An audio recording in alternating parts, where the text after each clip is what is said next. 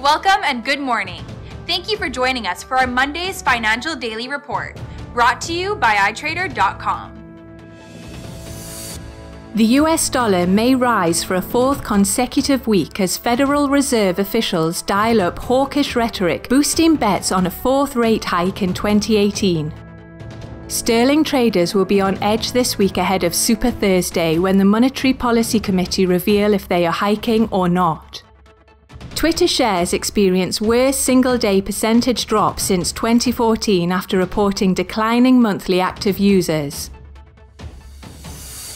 Bitcoin has gained an impressive 4.4% in the last session. The SSI continues upwards, now showing a 1.7 buyer seller ratio. The sterling dollar pair has traded sideways in the last session. The SSI is showing a 1.2 buyer seller ratio.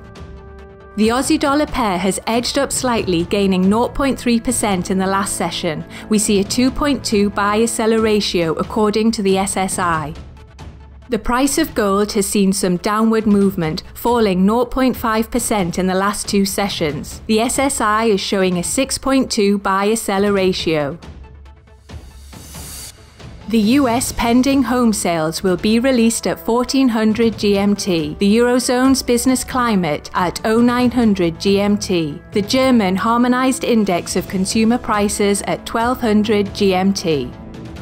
The UK mortgage approvals at 0830 GMT, the US Dallas Fed Manufacturing Business Index at 1430 GMT, and the US three month bill auction at 1530 GMT.